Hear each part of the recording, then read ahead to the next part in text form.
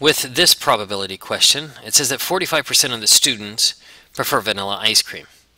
So we're going to take a random sample here of 12 different students, and we want to know what the probability that at least two of this random sample of 12 prefer vanilla.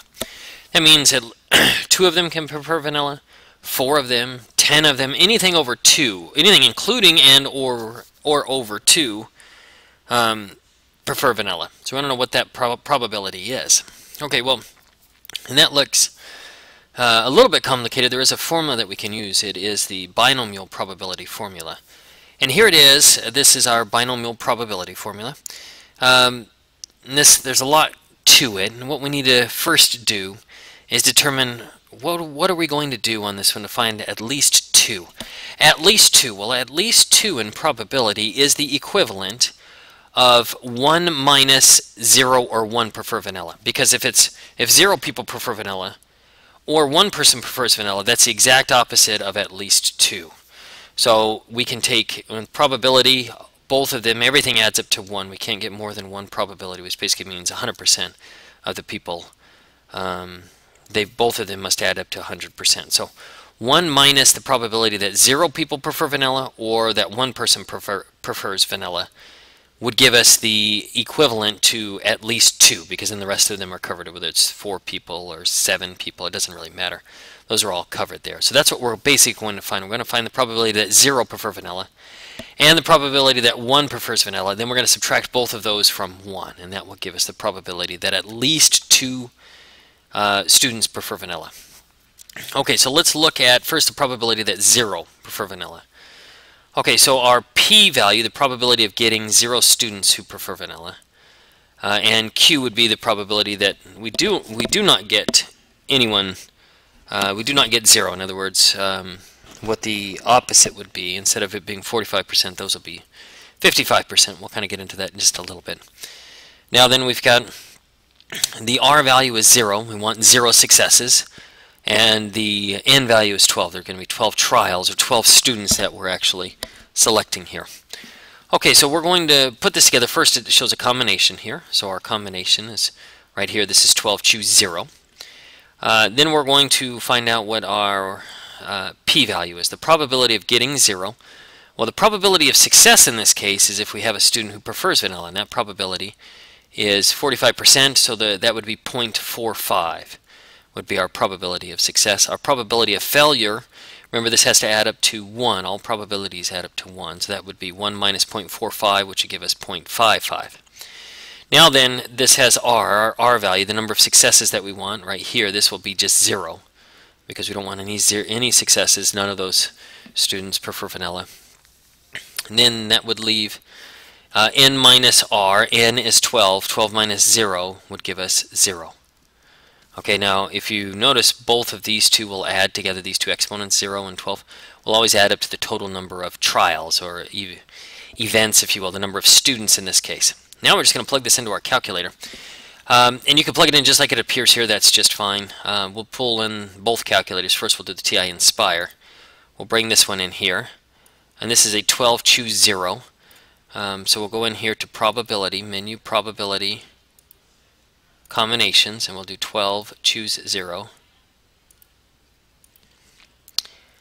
And next we'll do the probability of success is 0.45.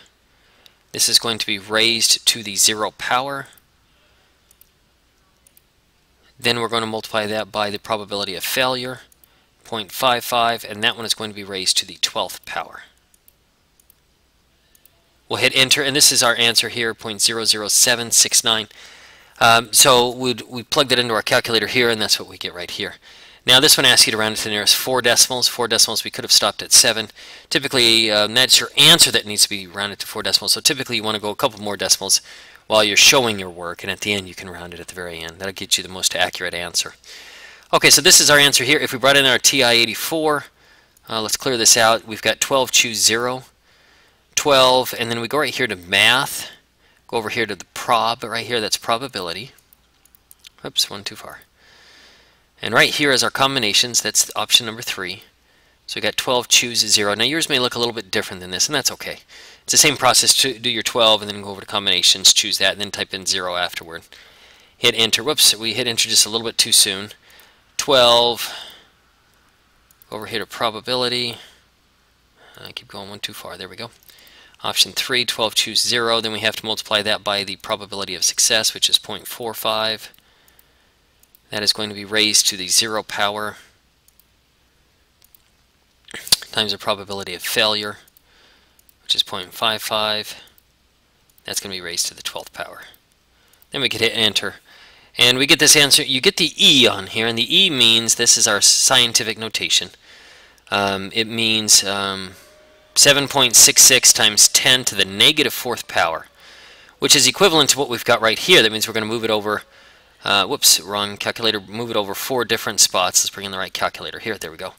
Move it over four different spots. We're going to go 0.000766. Uh, now, one other thing that I, I did want to adjust real quick, those of you who have noticed here, this right here, uh, this combination here is equal to 1. Anything to the 0 power is 1, so if you want the shortcut, you can just go 0.55 all raised to the 12th power. It would get you the same thing. Okay, so we've calculated the probability of getting a 0, uh, that 0 students will select it. That's your, that will prefer vanilla, excuse me. Now we need to determine, that's one of ours, we need to also determine the probability that one of the students will prefer vanilla. So let's bring that in now. Probability of success, uh, that means success would be getting one student who likes it. Uh, probability of failure, failure and failure in this case would be that uh, we do not get one student to like it. R value, that's the number of people, number of success that we'll have, we'll have one. N value is still 12. So we're going to come up with our combination, and this time our combination is 12, choose 1. We're going to use the exact same formula that we did right here. Instead of it being a 0, this will be a 1. Okay, or if you want to bring in your TI-84, uh, right here, instead of this being 12, choose 0, this will be 12, choose 1, and that's really it. Okay, so 12 choose 1 there, and then we go probability of success is 0.45, probability of failure is 0.55. So right here, the number of successes that we want, instead of it being 0, is going to be 1 right here. And then the uh, right here, we're going to go n minus r. n is 12, 12 minus 1, and 12 minus 1 would be 11. Now we're just going to plug that into your calculator exactly as it appears there. If you plug it into your calculator, you'll get this as your answer. Okay, so now that we've got that, let's get rid of this. We know here our probability of at least 2. Um, that we're basically going to do 1 minus probability of 0. We know that. Minus the probability of this, okay? So let's just do the calculations now. So we've got 1 minus 0.000766. I'm getting that directly from right here, our probability of getting 0. Then we're going to subtract our probability of getting 1. That is our probability right here. We just calculated that one. So what's 1 minus uh, 0.00766 minus 0.007523. Just plug that into your calculator. Make sure that you round it to the nearest four decimals, which would be 0.9917. So 0.9917 is a probability that we will get at least two of these people will say that they like vanilla. And that makes sense. We've got 45% of the students say that they'll prefer it, prefer it. Even if we took 45% of 12, we would get uh, it would be much higher than 2, so that your likelihood is very good um, that you're going to get at least two. And in fact, it's 0.99, so you've got a 99% chance that you're going to have at least two students say that they prefer vanilla.